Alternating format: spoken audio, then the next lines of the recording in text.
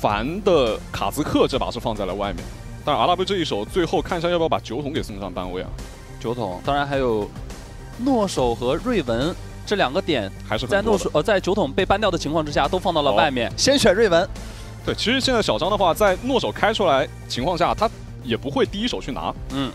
呃，因为其实 R W 这里的话，他针对到小张的这个诺手，他是有很多自己的善用的打法的。哎，先拿一手盲僧啊，就是两边英雄池重叠的部分。是，加里奥也放在外面，这一把看要不要拿。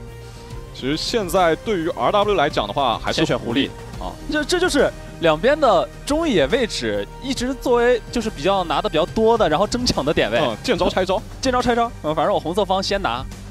那其实放在外面的加里奥这里的话，EDG 就可以去拿一手了，而且在下路也有一个优先级，啊，先拿卡莎。对，刚其实就想提到，就是因为，呃，卡莎这个英雄的话，如果放给 RW，RW 绝对会去拿。对啊。现在对于可荣来讲的话，他其实卡莎是拿的最多的英雄，而且胜率有七十一点四啊。但是灰原的话也是比较喜欢玩卡莎。对，虽然只拿了两场，但是也是百分百的胜率。嗯。左边，诺手，卡莎加诺手，加里奥和露露要不要选择性拆掉一个呀？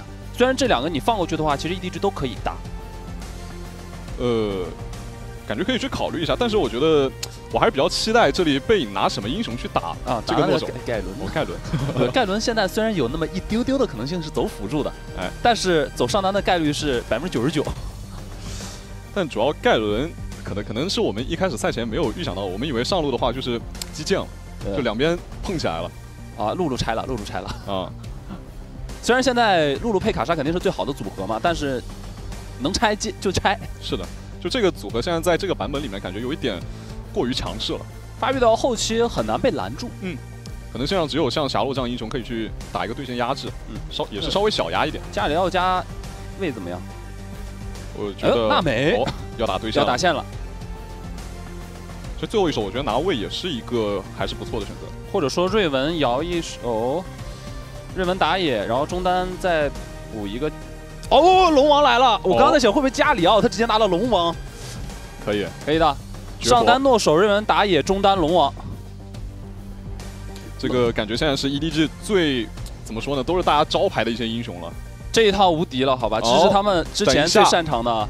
维恩，维恩加露露，维恩加露露有一个小问题，这对线稍微弱了一点，没有什么推线能力。但是维恩这个英雄的话，他在打卡莎的时候还是有一定优势的。嗯，尤其是你在中期辅助 open 掉了之后，在 AD 一 v 一的情况之下，其实我觉得这首维恩选的还可以，因为你看左边这个阵容的话，硬道理来讲，他没有第一时间也能集火掉维恩的点。就而且他们是那种手偏短的阵容，除了龙王之外，剩下的人手偏短。而且龙王这个点，说实话也不太好去限制到维恩。对的，就除非中期搓一个很大的螺旋丸，然后卡的你不能走路了。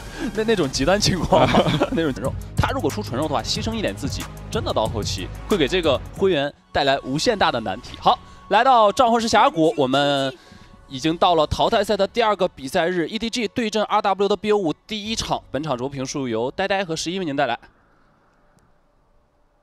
这把还是选择正常对线，已经蹲住了，但是前期应该是多人站中啊。嗯，但是多人站完中了之后，就帮忙抢一波线，应该是正常的分线。是的，其实现在 Sky 在选出龙王的情况下，他中路拿到线权是非常非常重要的。嗯，哦，这里卡了一波，小细节。好，卡了一下，让你少吃一个。而且这样的话，这个兵线是往 RW 上路给推的。嗯，所以说其实诺手在前期可能因为这个。前面的一点小 R W 的小细节，会导致这波线一直被 R W 卡在他的塔前。这个现在其实是在应对着前期比较喜欢多人战中抢线的打法的时候最优解了，算是。是的。而且他本来就是对线劣势，所以就无所谓。就如果我们上路看什么，就是剑姬打那么手，可能就不太会出现这种事情。嗯。而且这把其实我觉得 E D G。呃，总体来讲，他其实这个中野想去联动的话，还是比较困难。敲一棒锤，这样上去转一下，但是三级了，小张三级了之后开启光盾，回头，那就好凶，但最多拼个血怒出来打一打流血效果。反正两边把自己除了闪现之外的另外一个技能都用掉了，点火、光盾，互换一波召唤师技能，能交的都交了。嗯。前期放弃一点点的下路对线，刚刚也是娜美直接去中路帮一波，看看会不会出事是的。而且现在下路赶紧把线给推完之后去拿这个河蟹。嗯。不过现在盲僧的视野是被看到了。哎，龙王在往上路走啊，这一波是不是有想法的？三级的龙王应该可以直接隔墙飞过来，飞过来了，要抓背影。但这里感觉不太好走，先勾回来，拉回来的时候应该是走不掉了，看一下在塔下能不能。哎，但 Sky 这里血量很低，差一点点，两个闪现交开，流血流死，流血流死了，完美扛塔，漂亮啊！这一波在上路的包夹其实就是非常非常经典的。我知道你都在下路，但是这个时间点 EDG 的下路会不会遭中啊？狐狸原地念回城了，那么没事了。本来是一波有一点点像四包二的节奏，但是兵线太少了啊，主要是他们的中野都没到五级，嗯，所以说这波也不太好越。没五级的狐狸和没五级的盲僧差太多了。嗯，来到五级之后的话，其实 R W 的中野他们就开始慢慢发力了，因为他们的联动性上来讲，会比 E D G 的中野会好很多。纯赚一波，然后两分半之后，其实可以在上路发起下一波的奇袭。哎呦，再加上德玛这一把的出装，选择的是半肉的出装，那可以继续杀。说实话，你如果是纯肉的那种，直接来搞个日炎啥的。嗯，而且上一波已经闪现交过了嘛。对啊，但感觉 E D G 可以。无脑往上路走，呃，等 CD，龙王其实可以，龙王的闪现没有那么重要，在包上的时候，但是诺手的话可能要小等一下。主要他们这个上中野的话，来到五级之后爆发能力很强，嗯，就一波你要想去 all in 这个背影，现在一个盖伦的话是有机会的，全是斩杀，哎，但是这一波打的稍微有点凶，盲僧已经从旁边摸过来了，呃，感觉没有什么好机会，这两个兵形成了天然的防护罩。你想直接添一波踹过去是不太现实的，肯定是踹兵。那帮忙过来推一下线也是可以的。而且瑞文就在下半区，这个时间点诺手要稍微小心一点。嗯，但其实我们现在可以看到这个地图上的视野，凡这波想走下去是一路被看在上面的。那是啊，这河道里面插满锃光瓦亮的，全都是蓝色方的视野。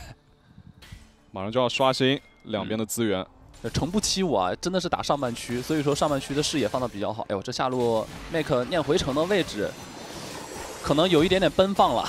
嗯，对，这波疯狂打断，主要是露露的状态不是特别好了。嗯，那卡莎这一波被打断了回城时间的话，就是可能难受一点，但是影响不是很大，因为因为还是回去了，而且也没有借这个时间去直接动小龙什么的。他们也比较清楚，EDG 这个时间优先级肯定是先锋更大一些。是的，而且现在 RW 感觉要过来争夺这一条峡谷先锋了，直接把下路双人组换上来。换上来了之后，看一下 VN 已经有破败了，但是露露的话双生暗影，两边也算是出具那么一点点的战斗力。嗯，卡莎也是标准三件套。嗯，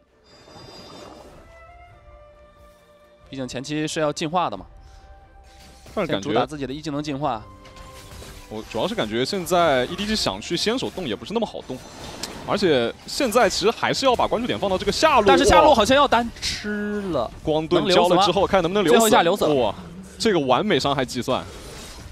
刚就想说，刚就想说，应该是要把关注点现在现在放在两个上单位上面。单人线。对。但是这波单人线的对拼，属实是。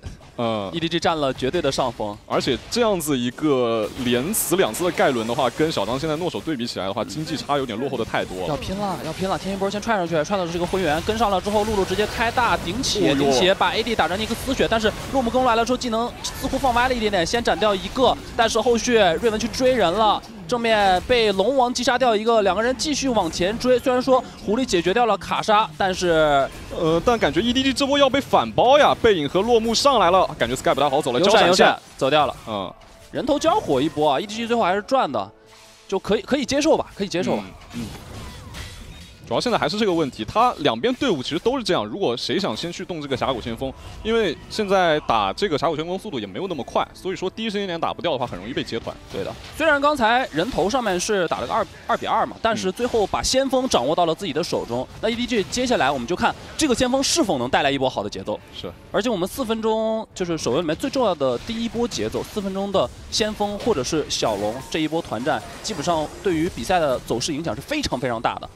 现在就看接下来的先锋利用率了。对，而且主要是刚小张自己把下路一塔给带掉了，这也是个很关键的信息。嗯，就这样的话，其实现在，呃，对于 RW 来讲，他们的下路双人组这条线不好摆，就走到哪边是一个问题。但是他又必须得去用盖伦来迎战这个诺手。是的。所以现在就变成了被牵着走，然后诺手来到正面了之后，盖伦只能去守线。这个位置的话，因为正面蓝色方五个人。但是你 R W 只有四个，所以没办法。想要抢，但晚了一点，赶紧二技能摸走。呃，娜美这个浪拍的稍微慢了一点点。哦，魅惑到了灰原，哇，这一套血量很低，这一脚直接踹死了。继续往前跟嘛，没有第二个魅惑了呀。这波是灰原自己出了问题。嗯，感觉有点不小心了。嗯，就是没必要往那个位置走，因为前方嘛，他们前期的视野其实布局围绕着野区的资源会比较多一些，但是对方的野区是没没视野。刚这波回放。就我觉得凡这一脚踹了两个很关键，而且把 EDG 的后排全部都给踹残了。对的，落木切过来的位置接 combo 没有接好，要不然第一时间他不用就是走那么远就能把卡莎给追掉。是的。其实，在这个时间点的话，灰原在小团上的战斗力是要比维恩来的强一点，但没办法，刚刚被限制的太惨了。嗯。小张这里，这个对位经济差很真实哈。现在感觉有一点。就是还在还在单机的大哥，嗯，这都不是多出去三分之一了，三分之一还多了，挺吓人的。是，哎，这样就有个问题，背影这把选择了半肉出装的话，一旦前期劣势比较大，他其实在中期的时候很难扛得住。他现在其实已经面临这个问题了，对，而且单线上面一旦出现巨额的经济差的时候，伴随的就是等级差距。是的，啊，所以现在八级的盖伦其实并不太能扛。嗯，这对于卡莎来讲，绝对是喜出望外的好事啊。卡莎现在主要也是倒了两回，对，不过卡莎自己的发育也不太好，虽然说跟别人差的钱不多，但是你正常来说，在整体经济领先的情况之下，你是应该领先别人装备才对的。对，呃，把大部队往上半区去调，龙王一直是在带下路的，因为现在就是边线给一点点压力就可以了，把兵线一吃。是的，而且龙王是整个 EDG 队伍里面支援速度最快的一个点。嗯，现在。现在等下一波小龙的团战吧，基本上短时间之内也很难去做事情了。不过先锋还没放，其实不急，等那个呃下一条小龙刷新的时候，其实再选择把这个峡谷先锋放了会比较好一点。而且现在比较关键的一个点就是来到 RW 的中塔，现在 EDG 对他的一个就是感觉最虎视眈眈的就是这个点啊，那肯定啊，最重要的资源中路防御塔，中路卖塔。而且说实话，R W 他除了狐狸这个点，其他人守塔都不好守。而 R W 在中路配备的人员比较多，嗯，严防死守。啊，诺手继续带上，龙王带下路，三线给一定的压力吧，把你的人调走，然后在转线的过程当中看看有没有特别好的机会。现在紧盯瑞文就可以了。啊，瑞文直接在下路放了，要直接拆下二塔。这波拆下二塔的话，可能也是意识到了整个上半区全是人。诺手这位置好像把露露给勾下来了，但是旁边人有点多呀。这一波如果真的打起来的话，还不好说。前一波虽然空掉了，但是落木就在旁边。这一波能清到吗？旁边有人跟过来，但是一脚踹三个。哇，小张还是倒掉了。回身的这个水炮被位移技能躲开了之后，EDG 的双人线也只能往后面去撤。嗯，虽然有一点点拖沓了，交掉了自己诺手的一颗人头，但是下路配合着先锋还是把二塔给拆掉了。是。这样的话，其实我觉得对于 EDG 来讲，这一波怎么说呢？就还还算能接受。就下二塔撞掉的情况下还能接受，但刚刚实际上稍微有一点，我觉得是小张有点太不小心了，脱节了。嗯，就没必要。你下路在做事，呃，就打游戏的时候，尤其是手游，因为节奏比较快啊，很很有很大的一个忌讳是不能同时做事情，就上下不能同时做事情。刚才就属于单人线也想要去。搞点事情，然后下路也想搞点事情，然后两个重合了，所以就折中变成了一个，就是军事对他来说。主要是先开始看着小狼这个位置，我以为他要一打三了，那后面看一下，呃，狐狸也过来了，太好了。对，王龙踹的也有点好，四个抓一个确实没啥办法。对的。诺手现在的极限感觉打两个是 OK 的，一打三稍微难了点。嗯。就虽然经济领先蛮多的。是的。但是你盲僧啥的发育也还不错。先动火龙。嗯。这条火龙中路因为兵线第一时间没赶过来，所以没有办法介入这中线去推他。感觉有点不太好动啊，这个阵型被卡了一下。龙王，龙王好像在搓丸子。先放大招，击飞了三个。这波大招放的还不错，配合着龙王，但是一脚猛龙摆尾摆的也非常的好。瑞文先行倒下了，继续往前去跟。蓝色方 EDG 这波得往后面去撤了，狐狸再利用自己的大招往前一波，诺手。铁手往回一拉，拉完了之后没有斩掉 Make 残血，但是给自己套上盾了之后没死，反手诺手这里在没死的情况之下又追掉了一个娜美，这一波 EDG 感觉有点打炸了，有点打的小炸呀。而且这个时间大龙没了，大龙是有机会的，现在雨峰的复活时间不知道能不能赶上，现在买 TP 了，五秒钟。娜美也是还差五秒钟时间复活，上单也快了，但是这一波上单是没有办法直接换一个 TP 过来的。大龙还剩下要来抢两千血，来不来得及？双伤暗影，会员赶上来，龙已经被打掉了，但这一波似乎想要留人。雨风进去第一时间被露露的一技能减速到，再被又踹了三个，我的天哪！一脚送走。凡这一把盲僧一直在串糖葫芦，他这个就有点夸张了，每一波的大招都能打好几个人。是的，EDG 想要借助这个机会把中路的一塔给拆掉是没有什么问题的，但是大龙 buff 已经落到 RW 手里，所以接下来就是拿到 buff 的红色方推进的节奏。只能说止损吧，这个中塔推的，中塔推的止损吧。让后面不会那么难受。就刚刚其实上一波团战就有个，先看上面这里背影的话，想要被呃要被抓的话，其实不太可能。现在已经慢慢把自己坦度给做起来了，而且在塔下击杀难度有点大，再加上刚才兵线已经被清掉了，所以防御塔即使只剩四百血，一直也没有办法直接换掉。是的，看这一波，其实我觉得关注点可以来到盲僧身上，这一脚把灰原直接血给踢没了。对的，而且虽然有一手治疗小拉了一下，嗯。很细节，我觉得维恩先把小张给推走之后，再去做前面的一个追击。这把韦恩确实打出了该有的效果，而且现在发育确实很好。但这边下路又要开始先抓了，哎，定的还不错。龙王猛喷一口，那个好像走不掉了。呀，旁边又拍来了一阵浪，这个浪拍的还不错。落寞是一个丝血，顾源继续往前走。艾克加暴雨分支的伤害，配合着龙王直接追击掉了狐狸。但正面的话，凡和背影应该是可以走的。我刚以为还差点要烫死了，就那个圈圈好像差一点要。就是插到可荣身上了，嗯。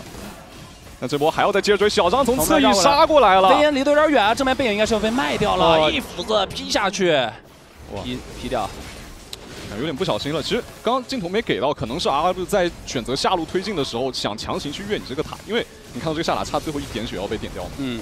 但这样的话，中二塔在被推掉的情况下，这条大龙感觉有点白拿了。这把 R W 难了呀！他们在借助大龙的推进过程当中出现了如此大的事故，嗯导致 E D G 反推了一波，中二塔直接拿掉了，而且自己的中一塔还没掉。是的，那这样一波打完了之后，R W 的大龙节奏彻底断档，而且我们一会儿也可以看一下这波的男爵之力收益是多少。对，应该挺低的。是。啊，回顾一下，没看到前面是发生了什么，但是只知道的是 R W 这一波被 E D G 的控制链控满了，控满了。拉的太好了，是的，主要是龙王第一时间来，打了个出其不意的效果。这露露自己也是没想到，哎呦，负的一千八百六。而且刚刚我觉得还有个点很细，小张在把上路自己给单推完之后，跑到中路来，然后再去杀了阿拉布一个措手不及。嗯。那但是现在你既然失去了刚才最完美的推进节奏的话，即使自己家的 C 位已经到达了三件套，包括狐狸，包括维恩，但是在缺少核心的情况之下。感觉下一波的资源团还是不太好接，就掌握好位置才行。是的，嗯，保住边，保住边还有机会。对，而且还有一个问题就是，主要他们这个阵容想推进，对于 RW 来讲的话，其实他的一个清线能力，包括说推线能力不强。所以说，他如果想去推掉这个中一塔，其实理论上只有是打赢一波团战才有可能。而且边线一直被牵制着很难受。对，你要打团的话，很有可能什么四打五。小张，你看现在直接顶着这个盖伦上去拆塔。哎，小张，小张得走了，旁边薇恩和露露。啊，很警惕，也许悄悄的摸过来了。但是现在小龙和大龙要同时刷新了，其实这条小龙对于 EDG 来讲很好控，应该可以直接去打吧，讲道理。嗯。但感觉 RW 不想放。瑞文想碰，但是 RW 全部消失，有一个线眼，有一个线眼时刻侦测着他们的动向，而且野区里面也是有蓝色方视野在的。主要还是不敢先动。诺手在绕，这个诺手很喜欢绕后。是。就后面开了一个螺旋丸搓过来了，但是搓的位置稍微偏了一点，并没有能够借助这个螺旋丸把团战给开起来。而此时此刻瑞文已经动龙动了一段时间了，哦，感觉中塔要去换了，但灰原这一个金身交的很重要。哎呦，一脚踹回去，拖延了时间，但后续的话龙已经率先被拿了下来。这一波 EDG 上反打先推了两个，但后续小张一个人顶着对面三个人打。这一波的话，先做一个变羊，但是后续的追击被泡起来，两个这波感觉一定是反打机会，先把维恩给秒掉。后续这边雨峰还要再上去追，击飞了之后，这波背影也要走不掉了。再往前追吗？这里还有一个逃生的露露，但是被龙王跟到了，跟到了之后开启自己的外圈刮，有红 buff 连平 A，一技能，哎呦，一斧子劈下去，劈倒了。来中路开始向前推进，剩下的四个人复活时间都在三十秒左右。这波凡看看能不能绝地去守住这个高地啊？他虽然有两条命，但奈何自己只是一个盲僧啊，没有任何的办法，被打掉了复活甲之后。正面的兵线已经源源不断的涌了过来，我们这一场伴随着最后一个 TP 跟到了之后，可以提前恭喜 EDG 在 B 五的首局里面拿到比赛的胜利。是的，即使在 RW 拿到大龙 buff 了之后，他们依然是非常非常的通过一波稳定的团战。那这样的话，卡牌还是给按掉了。嗯，所以其实那逼你按那什么嘛？对啊，我也我也是有这种想法。你按不按龙王？反正你又不会不会拿。但其实没必要。我觉得，呃，如果加里奥在亮出来的情况下拿加里奥，其实也严格意义上来讲是可以的。是啊，还有一点啊，这把 R W 是的蓝色方一般阿卡丽，这是一个信息，就我不用。这把酒桶按掉之后，看之后要不要再针对一下剑姬这个点，因为其实背影上一把说实话有点惨了，而他过得很憋屈。第二把。就是很多上单打的比较凶悍的选手啊，他在一局吃了鳖之后，第二局都想要打回来。第二把请你吃鳖，对我要跟你大战三百回合再上路。R 呃 R W 这边怎么去做一个针对？盲僧是搬掉了，哇，瑞搬瑞文。上把雨峰的瑞文确实也比较亮眼，嗯，很秀。那把这个瑞文。瑞文跟娜美的 combo 确实是属实没怎么想到，两个人打了很好的配合，都在天上飞。对，不愧是福爷啊！天上飞，BGM 来了。最后一手剑姬，剑姬啊。那一楼的话，现在青钢影，青钢影了。背影其实青钢影之前的话也是拿出来，哎，这把落霞 open 出来了，EDG 要不一起拿？啊，不对，可以先拿个落，是的，可以先拿个落。就这一手洛加诺手。呃，我是这么想的，我觉得诺手和洛可以一起拿，但而且加里奥在放出来的情况下，我觉得这把其实加里奥不好放给 R W，嗯，因为他的这个阵容，我觉得搭建的话可能会以加里奥。加里奥来了，加里奥来了，但狐狸现在也在外面，嗯，E D G 会着急拿吗？皎月也在，这把英雄其实放出来的蛮多的。对，这把我觉得第二手的话中单不着急拿，因为左边如果拿出来来了卡兹克，啊，卡兹克这把确实可以。因为其实卡兹克在这个版本配合上一些我们新出的英雄，啊不不，加里奥再配合上像卡兹克和狮子狗这样的英雄都比较好去配合。是的，也没毛病这么说。其实 就之前版本里面没有嘛，最近版本才有的。是的，洛来了，洛加卡莎，就不跟你藏着掖着，我就不是拿洛霞的。但是这样的话，EDG 其实舒服，他不是一定要拿霞了。是的，而且。虽然说会员之间使使用霞也比较多，但是这把确实霞不是特别好。嗯，先拿狐狸，先拿狐狸。那加里奥的位置其实也是定的。哎，有有打野螳螂在的话，拿双 C 的 AP 也还行。螳螂一定能补上的 AP AD 伤害的，配合着上单。五楼拿诺手，没毛病。RW 这阵容呃也有机会拿诺手。是的。这把看一下青钢影的分路，其实还是呃有一个有摇摆的，摇摆的可能。嗯。拿不拿诺手？拿了可以抢一手。拿诺手的话，EDG 其实可以拿上单刀妹。哦，这一手露露的话走中单中单露露奥拉夫吗？其实奥拉夫是可以的。露露奥拉夫中野组合，但这样的话其实就没有什么 AP 了。呃，打真实伤害，真实伤害没毛病，反正两个都有真实的。是的。然后卡莎有一点点混伤。对，还行，还可以。EDG 最后一手来个诺手嘛。诺手确实很契合这个整体的阵容，而别的好像没有特别好的选项。也得再看，其实艾瑞利亚这一把如果要去打一个进场，哦，贾克斯，他可能想要防一手后期单带线的青钢影。是的，而且贾克斯这个点的话，其实他在英雄机制上面的话是有一点点小康的青钢影。就青钢影这个英雄，他会一般是用。平 A 穿插他的一技能精准礼仪嘛，然后去打一个就是输出，但是贾克斯他的反击风暴是能全部规避掉的。而且在端游之前有一段时间青钢影非常火爆的时候，贾克斯也应运而生。是的，用它来作为一个反制手段，对，当时算是屡试不爽。不过，不过最近里面其实端游的那个 counter 节奏没那么大了。嗯，对，而且就是贾克斯打你一手措手不及。好，来到召唤师峡谷 BO5 的第二局，第一局是由 EDG 先下一城。啊，本场的直播评述是由呆呆和十一为您带来。这一场虽然说没有上一局龙王那么夸张的英雄存在啊，但是也也很好看。对，也很好看。露露加奥拉夫。对，露露这个点的话，我觉得也是大家比较喜欢去看的一个点。嗯，具有效果。很多人说辅助和中单是可以做那种就是联联动的嘛，就是很多的人打辅助的也可以打中单，打中单的也可以打辅助。那露露这个英雄最近可以试一试。呃，中单露露的话，他的抬血能力加 buff 能力肯定还是更强的，因为一般打到中后期的时候，他会补一个帽子。但最好是在开黑的时候用啊，就找一个特别强的。你得跟打野一条心才行。是的。这局因为有贾克斯的存在，我们也要更多的去关注一下。当然也是因为选择到这种阵容，所以说两边没有在一级的时候多人战中，都是走一个正常的发育路线。嗯。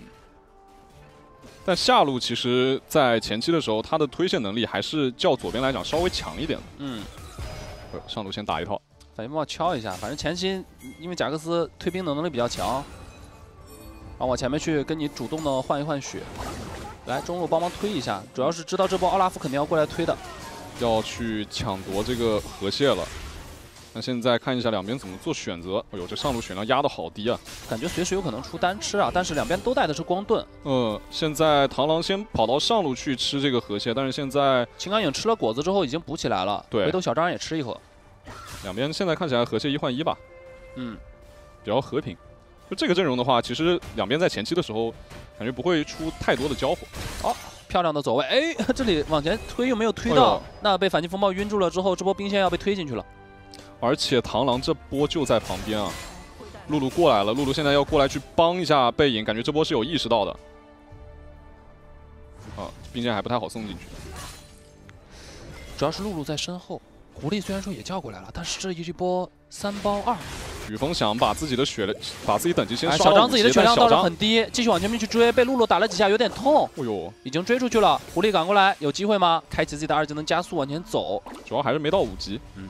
就这个这把跟上一把也有点一样，哎，但是露露来的蛮灵性的。嗯，如果你真的冒冒人上的话，这时候钻出来一个露露，绝对就是直接懵掉。是，这啥呀？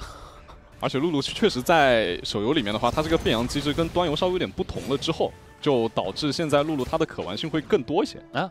而且分路嘛，对的。再加上手游里面就地图本来就小嘛，走的比较快一些，露露又是有加速技能的，所以爬线会更快。贾克斯国家饮血剑，呃，这里直接来了一个血鬼结账。破败这个点，如果让贾克斯提前摸出来的话，看看在这一波小龙，呃，在这个峡谷先锋团的时候，破败能不能摸出来？其实如果正常发育上来讲的话，摸出来之后，这个峡谷先锋对于 EDG 来讲的话，还是比较好接的。嗯，因为还有飞机嘛。他们打到中期的时候，可以考虑，如果说峡谷先锋节奏没有打出来，可以考虑双人线站中。嗯，然后。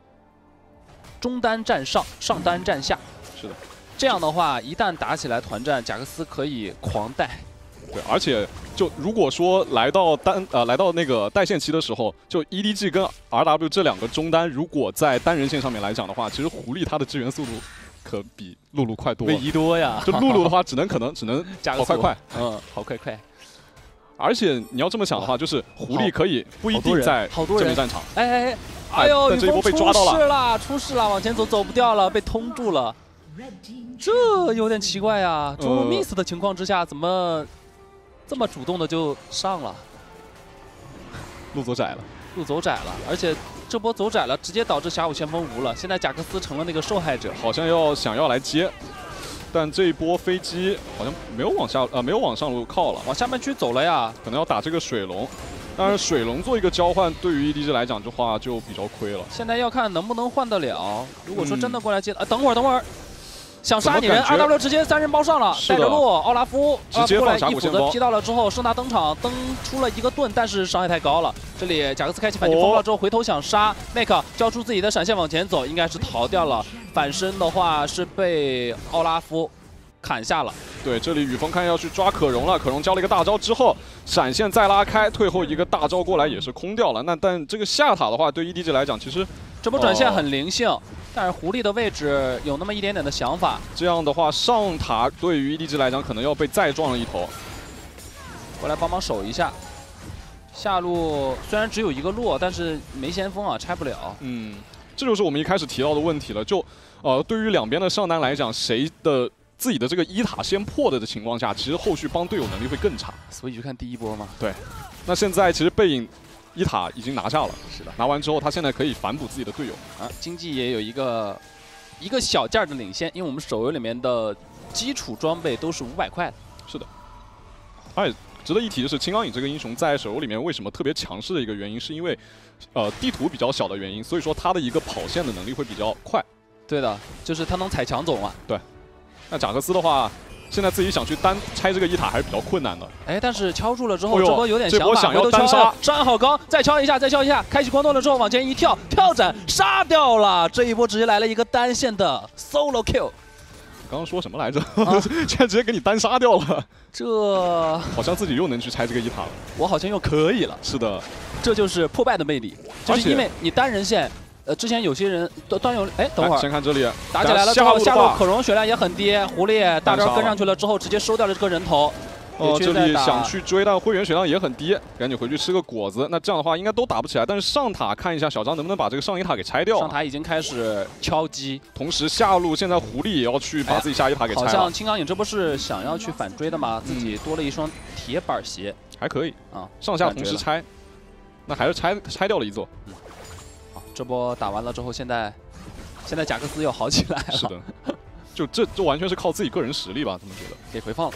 嗯，他是扫堂腿扫空了之后直接上来打，而且反击风暴刚好在你踩墙往前走的时候给晕住了，就怼到了一个死角，你根本走不掉了。这位置没有闪现的话，必死无疑。这就是为什么说就贾克斯比较好打青钢影的一个原因，就是 Sky 的话是在草里正好就是可容迎面走出来一颗心，一颗心。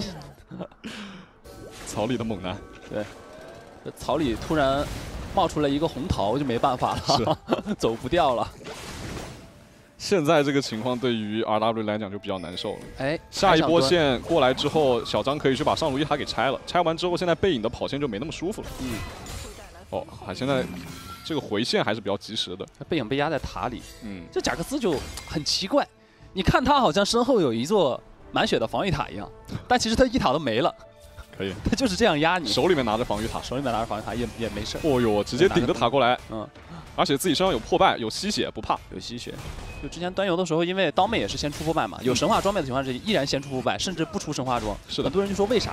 就是因为先出破败，一 v 一太猛了。是的，而且一旦很多的英雄要打前中期的单线强势的话，单人线，这破败就是非出不可。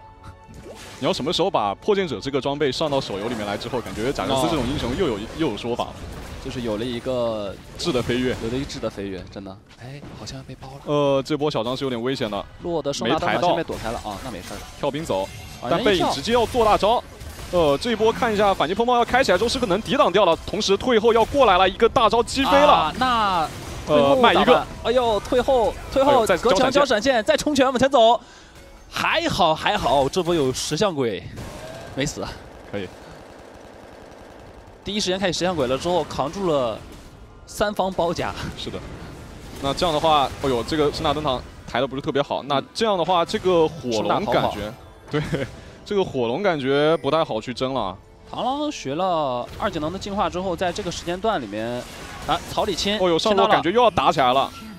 下路第一时间点，洛先倒地了，而且退后一个人站在前面。会员这波瓦尔基利夫呃瓦尔基里俯冲往前，好像有点危险啊！开盾，开启盾了之后，自己的血量非常的低，只能往后面去撤。奥拉夫这个位置非常非常的能砍，Sky 闪现躲开了一发斧子，但是把目标瞄准会员了之后，会员最后一发没死。旁边的雨峰想收落幕，但是没有收掉。哇，再被一斧子劈下去，直接鲁莽挥掉了。这样三杀拿下来的话，中野现在就在中期的时候起效果了。就是有露露的奥拉夫非同凡响。嗯，对，而且他又是个中单露露。嗯，看一下上面这一波，落地时间点自己先被开到了，而且其实是退后这里有有点脱节了，而且灰原还蹦上去了。这一波下路双人组实在是给自己的队友创造了非常恶劣的龙区环境。可以，非常恶劣。嗯，而且后续落幕这里的话，其实这个变也很关键。就第一时间点的话，雨峰跟不上自己的输出了。对的。然后狐狸的话，技能在真空期，刚刚魅惑完了，没有办法放欺诈宝珠两段。那现在奥拉夫五个人头了，五个人头九千经济，咋打吧？大招又要转好了，这波又准备接。哎，但是这里清的过程当中，洛还是成功的开到后排，而且开到了两个人。哦呦，这波灰原血量好低啊，在隔墙被一个横扫直接扫死了。小张一个人跳到后面的这一波，感觉也要被追击。正面的话跳上来想反杀，但是反差一点点的输出没有跳死。哎，很可惜。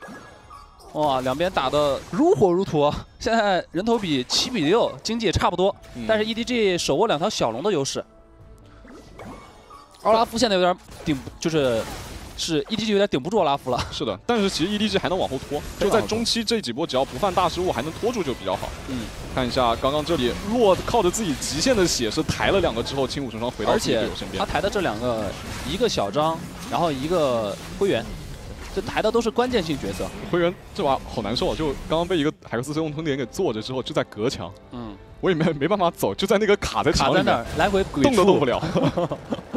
没办法。海克斯通牒在这种情况之下，一旦踩到 A 的头上，AD 是必死的。是的。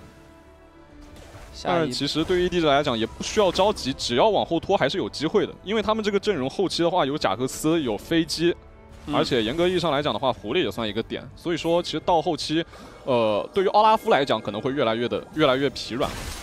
但是奥拉夫这段时间现在是太肥了。好，两边一起留嘛？哎，这是不是有点贪了呀？两个人都想先杀，退后，退后踩个爆炸果实，赶紧走！哎呦，这个果子救命啊！贪了，贪了。R W 刚才如果说两边的双倍技能留的是一个人的话，那那个人已经死了。但是在这种情况之下，就是纯亏啊。下塔又拆了。不过只能打大龙了，想上个抬，但是抬雨风的话没抬到，自己反而要死了。自己有问题了。哇，洛这波怒送，这这跳上来。自己回不去，而且队友没有办法接他，主要是对，而且这样的话，EDG 中塔有机会。哦，狐狸没有能够留到人，那中塔有了。奥拉奥拉夫被被队友小搞了一下，戏耍了。啊，我感觉这样几波转线转下来，其实 RW 他们反而自己要丢这条大龙了。现在想过来抢吧，露露大招还是在的，奥拉夫诸神黄昏也马上好了。洛不在啊，开一下想杀。最后扛完第一波的时候有点扛不住了，但是奥拉夫血量太低了，落寞原地直接被震下来的加里奥。过来要收割了，闪现一个二技能，但后续的话也没有办法能追击。那这样的话，感觉回家可以再去针对一下这条大龙。现在回头打大龙好像有点来不及了。是的，嗯，正面回去补个状态。正面就差一露露，剩下的人都活着。就是现在等级慢慢成长起来之后，就卡兹克这个点来到了进化两个技能之后，他在中期只要出到塞尔瓦达怨恨，他其实在团战中。能给队友出现，就是来，就是有一个很好的输出空间了。对的，刚刚一个二技能留了很多人。队友打完第一波了之后，他可以去收割，然后他第一时间还可以去留人。是的，想想哎，这个下路，但是呃不太好留啊，很难拆啊。我们上一波看贾克斯经济应该是一分半到两分钟之前，他当时还跟奥拉夫差了将近一千，但是现在把下塔拆掉，上塔拆掉，已经遥遥领先了。啊，嗯，跟奥拉夫，呃，对的，贾贾克斯，贾克斯跟跟这个奥拉夫一开始是差差一千经济的，是的，对，现在现在打回来了，不过奥拉夫刚刚也砍了一定的经济，所以差不了太多。对，奥拉夫他主要还是要偏向于做一个半肉的出装嘛，所以到越到后期的话，其实这个英雄在团战中的威胁力就没那么大了。而且，哎呦，哇，这什么意思啊？这有点伤吧？讲道理啊，你猛是猛，但是。纳什男爵岂是一个贾克斯在这个时间段可以单打独斗的？可以。哎呦，感感觉这波小张要出在上路露头之后是有机会被小张好像嗅到了一丝威胁。嗯，对，赶紧往后走，来得及，来得及，走得掉，因为也有十多秒的时间，小龙刷新了。对面一看，犯不着动大龙。是。对面一看，怎么钻出一个一丝血的贾克斯？贾克斯，赶紧找一找队友里面有没有什么金克斯、EZ、德莱文，全挂大招是吧？对的。但是土龙要刷了。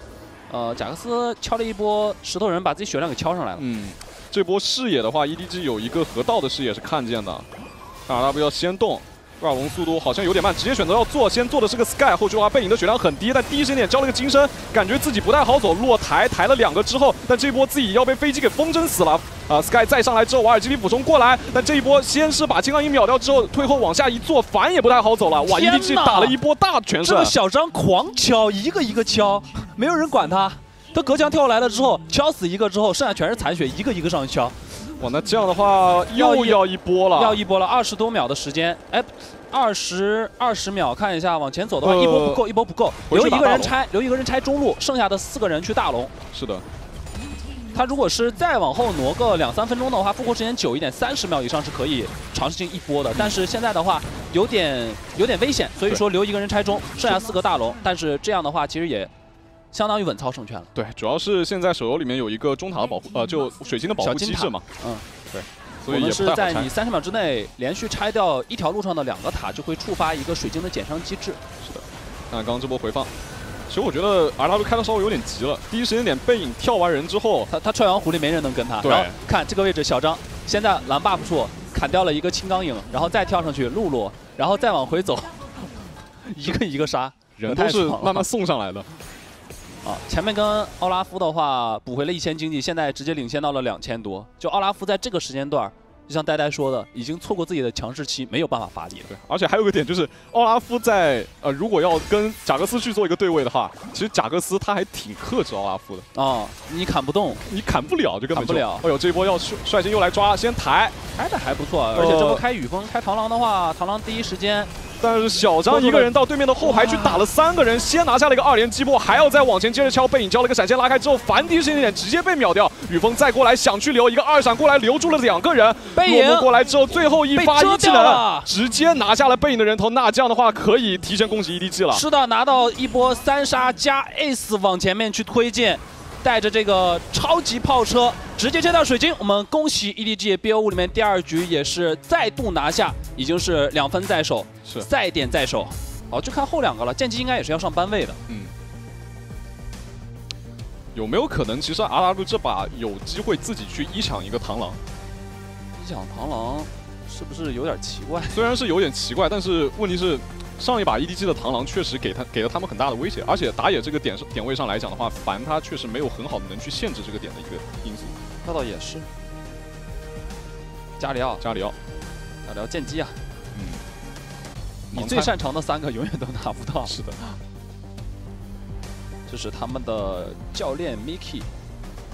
哦，我懂了，EDG 这个就等于是属于是啊，你对面三个百分百胜率的，我一个不放给你。对啊。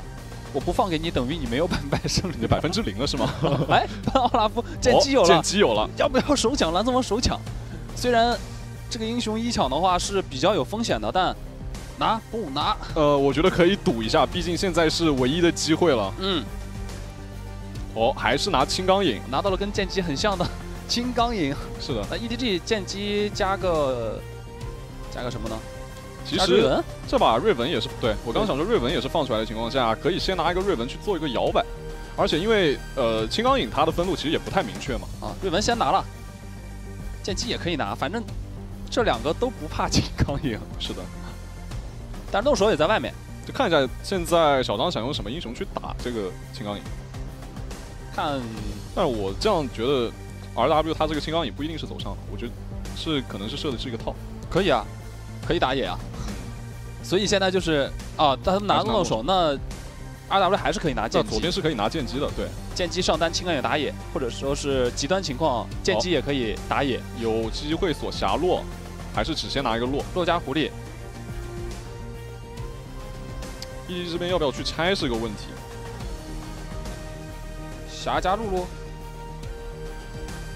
霞加露露其实是之前比较就是没有弱的情况下比较好的一个搭配，还是拿卡莎。卡莎了，嗯，他不拆了，要放着你打，那就是卡莎加露露了呀，得。对，因为如果呃他要选择霞的话，其实左边就会去拿卡莎。嗯，而且卡莎刚刚之前也提到了，可容的卡莎它的胜率很高，所以说尽量不放给你比较手热的英雄。对的。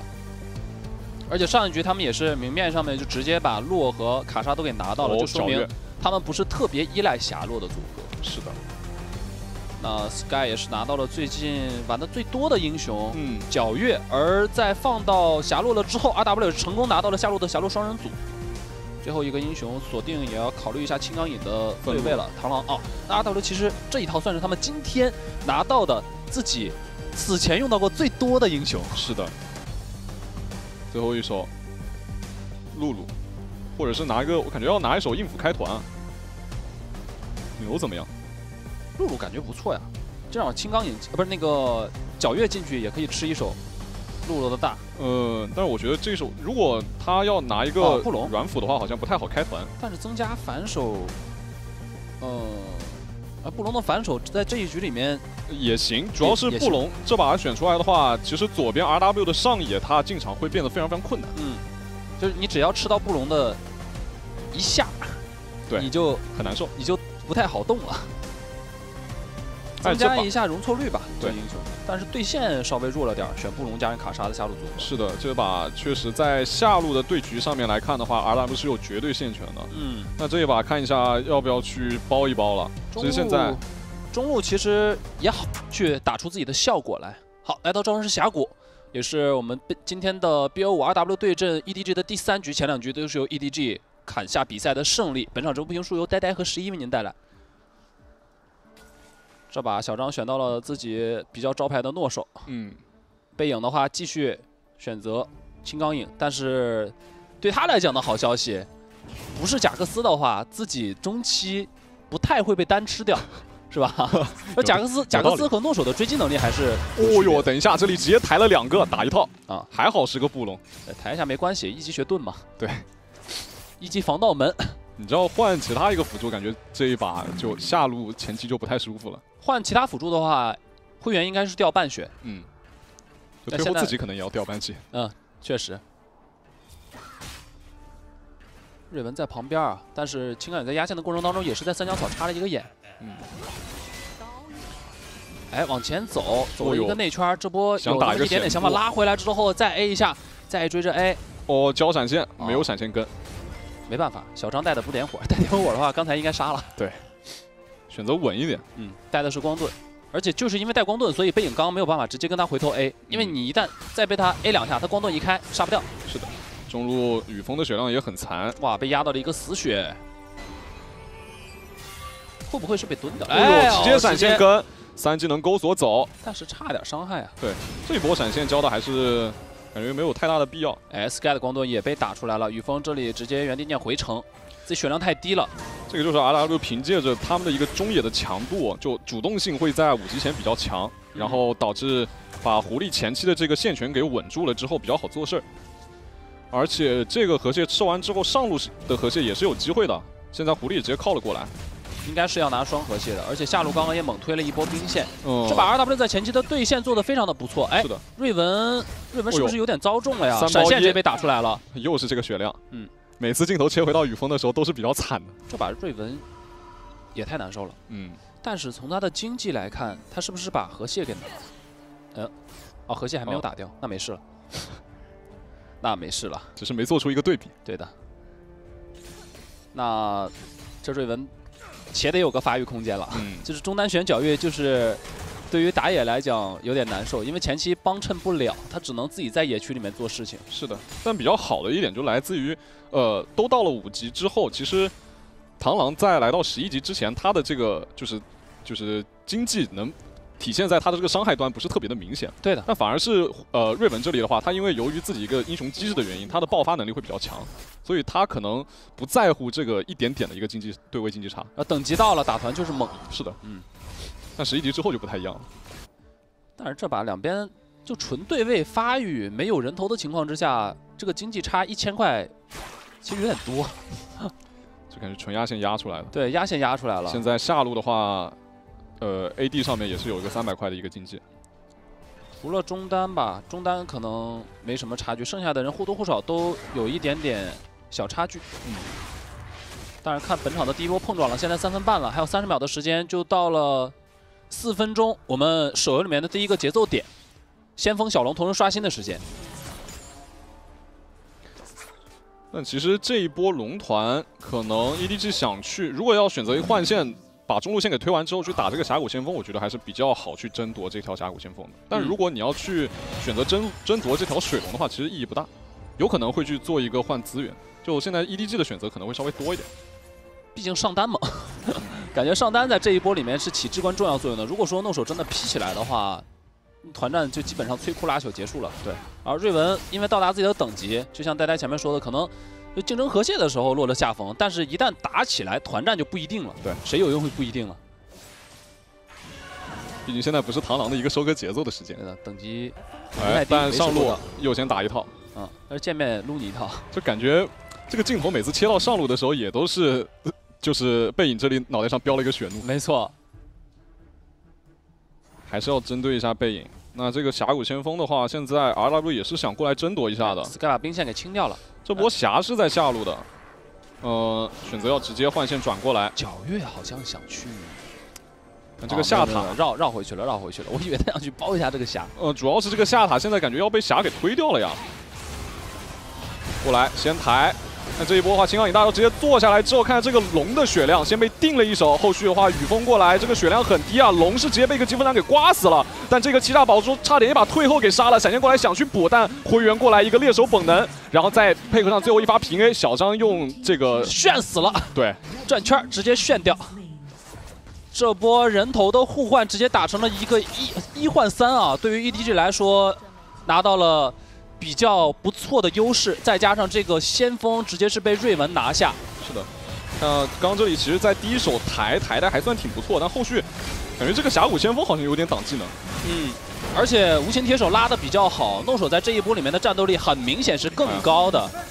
虽然说落木这个狐狸刚刚的那一发欺诈宝珠打的，就整体 AO 已经打满了，但伤害差了一点点，就很可惜没有把推后刚刚给收掉。嗯，而且两边其实都有一个分线的人员在下路，一边是皎月，一边是霞。嗯，但在这个时间段里面，其实霞是更应该在正面。是的。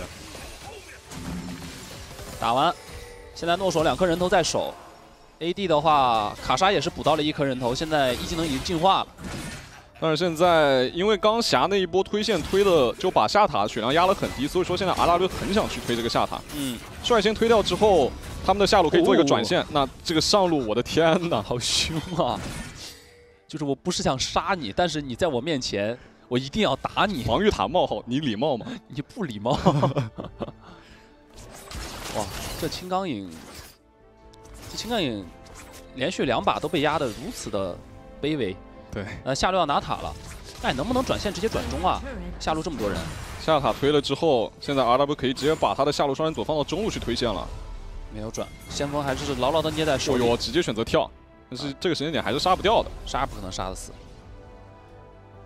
但是皎月肯定是留在下路继续发育的，这个时间点就是减轻双人站中，然后趁着你如果人多的时间的话，这个瑞文直接过来把先锋放掉，强行去磨一下中塔，但是帮边线也行。嗯。现在对于 EDG 来讲，最好的肯定是能拿中塔，不过挺难的。刚刚那一波推下路没有没有找到特别好的机会放先锋，是的。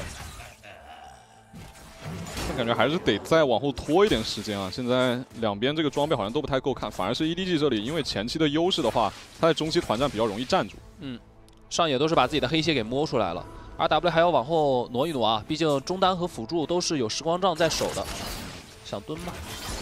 哎呦，这一波直接选择拉，但这边抬是抬起了一个退后，退后这个血量还好，有一个防盗门，冰川烈士交出来之后反打了，小张一个大招直接劈下来，是劈的不是特别好，但后续的话这个倒钩也没有办法去拉了，落幕过来了，这波看有没有追击机会，没没清到，哇，这个精巧的走位，贴墙走没清到，胆大心细往回走，两个人。就是贴你的脸走，刚刚那个位置真的贴脸走，是的，这其实狐狸这个英雄确实就是他的三技能放出来之后。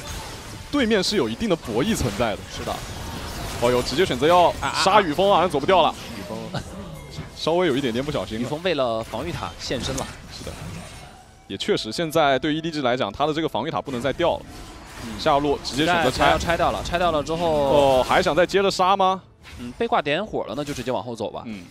呃，背影也并没有省技能，见面直接把点火放出去。对，主要背影带的是个不灭之握，所以在就是两边打起来的情况下，他还是有一定的坦度的。嗯，而且 Sky 因为身上时光杖加上一个水银鞋，在这个阶段其实一打一也不是很猛。哎，踹上来了之后，哦呦，又是同样的位置，瞄准的是退后，但后续队友不敢跟啊。这个通叠叠歪了呀。对，叠到了辅助的身上。这样的话，会员是不是进化三技能了呀？所以刚刚有隐身。等会儿等会儿有装备栏，我们可以看一下，是不是装备已经做出来了？因为九分钟嘛。是的。那现在中路直接放了峡谷先锋之后，这个应该是撞不过去了。嗯。但是目的达到了，就把你牵制住了之后，直接去动小龙。哎，不过好像配合没有打好。这一波先来魅惑，想杀，先杀了一个被秒了。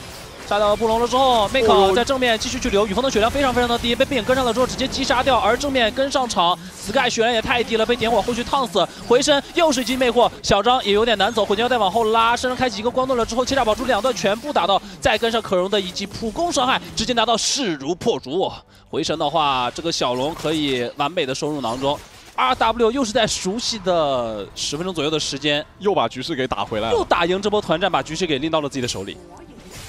刚刚感觉虽然说 Sky 那波进场其实拉得很好，可以看下刚这波回放，第一时间点退后先被秒掉的情况下，EDG 这个阵营其实不是特别的好，两边被分割开了，而且雨峰第一时间点被打得很残，哇，这个三闪有点关键。落幕打了，落幕第一时间开的也好，开一个残血先杀，而且后续的话再一次魅惑。对，主要是还有一个就刚刚皎月这波进场虽然说拉的还可以，但是问题是队友跟不太上了。对啊，而且皎月这个时间段没什么伤害。刚刚应该是帽子还没有没有出来的时候，一剑半的时候没什么影响。嗯，EDG 这个 EDG 这个阵容感觉问题就来自于他们的其实先手能力不是特别的好，而且他们吃发育啊。对，这阵容在前期的时候打架很容易面临伤害不足的问题。对，主要是现在卡莎两件套摸出来之后，他第二件选择做的是个无尽。嗯，现在伤害是直接给你堆暴击了。上路想守一下二塔，而且狐狸这个点放出去了之后，两看得出啊，两边都是很容易通过回地去找节奏的。嗯，想从旁边绕吗？但是中路有一个青钢影啊，瑞文真的想直接断后的话，不太容易的。诺手，诺手现在已经对位上青钢影经济落后了呀。嗯，而且现在打野的对位上来讲，不但是有经济落后，而且现在凡已经来到十一级了。嗯，十一级的卡兹克现在是大变样，大变样，而且他甚至鞋子都没做，两件套，哦，直接要交暴风女战拉出来之后，但反身这一波抬抬的很不错，倒钩拉两个，但自己第一时间点还是要被秒掉了。那个过来又抬了两个，凡这波要过来打输出吗？先用二技能去留，背影要过来，哎，但是这个三技能没有先选择第一时间点交出来，魅惑也空了，那应该选择要撤退了。哦哟，反而是反身这个拉拉的很不错，大招又把所有人给吸满之后，这波背影在前面打对面的五个人，交了一个金身，但自己还是要被压起身了。这什么呀？每一次打赢团战都要输一波，而且中塔又掉了，呃，就离的节奏，不，三局一模一样，我震惊，就就真的是连续三局，每一次在中期 RW 打赢那波团战之后都会输一波，是的，都而且都是。比如说有一到两个人在某一条路线上被 EDG 的人开到，嗯，那刚才的话是 AD 被留到了。对你不得不说，其实刚刚 EDG 第一波先开始开的开的那个机会很不错，啊，但后续 RW 有一点，我总觉得有点太自信了，就是。对的，他们想继他们想继续去接，在损失掉 AD 的情况之下，还是有点强。我们看一下正面，是的，那就是找到一个机会，好像可以留一下 AD，那直接把所有的技能都交上去。瑞文的阵，布隆的大招冰川裂隙，然后你看反身这个时间想打，但是 EDG 整体血量还不错。对，就而且背影这个位置应该是有点小失误。他如果是跳过去放技能的话，感觉可以，似乎可以打。然后皎月又被吸回来，小张开的太果断了。小张这一波闪现一个无情铁手，把对面人给拉回来之后，瞬间扭转扭转了局势。没错，这可能就是 EDG 吧。对，EDG 现在给我们展现出来的还是他们的抓机会能力啊，非常非常的强，可太顶了。是，而且他们他们的阵容不是那种。很容易抓机会的，是的，先手能力偏弱，就这也能给你抓住了啊？没办法，哦，这波又让抓到了，但是是 R W 一波机会，输出不太够啊。现在就来到这个问题了，可容这个霞在后期的时候，他的伤害端开始慢慢往下有有所下降了。动手的感谢，感谢闪现，雨峰上来开两个，但是反身的话，霞逼出了一个漫天飞雨，倒钩拉了三个，但这波想进场。后续的话，会员一个人到正面战场来先收掉凡，但后续小张再进场劈掉对面的霞之后。那这样的话，感觉也不太好守了。哦，这什么意思？哎，这怎么能进来的呀？直接又被撸了一套，皮了一下，还可以。嗯，但是现在这个撤退位置，两边是刚好反的。有盾，举盾了之后抵挡一下欺诈宝珠，但是小龙这个时间点刷新了，而且 AD 在上路吃线，扫了三个留一下。现在 RW 第一时间点也不太敢去开这个龙，上塔已经被单吃掉了。这一波 EDG 的转线做的很成功啊，而且这个原地念回城，青钢影是留不住的，而且青钢影去上路。去上路了之后，这个小龙也可以被 EDG 在十四分钟的时间点拿掉。是的，RW 本来前面还有两条小龙的优势，但是现在又被 EDG 给赶回来了一条，这就是又打回来了一波团战节奏。本来前面是快要把经济拉平，然后这一波打完了之后彻底拉平了。是的，而且这个 AD 灰原这把好像要 C 起来了，四零四，对，战绩非常非常的好看。刚这一波，你看灰原这波进场。打的就很好，呃，小张从后面绕过来的时候真的是见鬼了呀！小张这这几把不知道怎么什么，就是他一个思路是怎么样的，就总是从莫名其妙的地方给钻出来。对的，因为他一直走单线嘛，然后走单线的时候，当所有人的视野全部在正面，你就会发现后面会默默绕出来一个诺手。是的。现在灰原的装备啊，看一下，三件半，嗯，破败无尽。太阳刀全部都有了，嗯，而且金身也摸出来了。现在所有的鞋子附魔啊，在 EDG 手里都已经附魔好了。对，两边这个 AD 现在经济差不多，但其实卡呃，其实霞这个点的话，之前在比赛里边，大家有可能会在第二件选择去做一个烈阳魔刃，嗯，就现在第二件他选择做了一个不进的情况下，如果在优势没有扩到扩建到非常大的情况，他可能会慢慢走下坡路走得更明显。就是他这是一个成长性的装备，可能你打到后期的时候，什么四件五件特别猛，但是在这个时间段里面不太够。我要开大招，直接选择开，这波落台的还算不错，但自己的血量很低，第一时间点直接被瑞文给秒掉了。落幕过来，闪现再拉开，可荣这波交了一个漫天飞雨下来之后，感觉也不太好走啊。倒钩拉了三个，是波机会吗？再往前拉，但可荣自己也交了个金身，背影这波要进场了，但后续瞄准的是退后，呃，退后差最后一丝血要秒掉的情况下又被拉回来，这波小张赚死了，还是要回援，金身一丝血，而且没死，秀到了，被旁边的诺手直接来了一波三连斩，势如破竹，这一波应该是可以直拆中塔了，呃，往前面去推进，三十秒的复活时间，尝试性一波，尝试性一波。往前推进，带着两个两个爆射兵在后面，可以一波结束了。虽然打出了一个小金塔，但是扛塔的兵有比较充足啊。几秒钟复活的辅助并不能造成威胁，直接顶塔拆掉。我们也可以恭喜 EDG 再一次以同样的方式连斩三局，BO5 里面三比零取胜。是的，恭喜。虽然在之前淘汰。